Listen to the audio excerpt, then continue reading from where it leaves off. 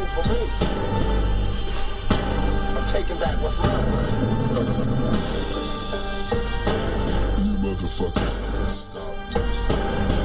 Even if I die, I'm gonna be a fucking problem.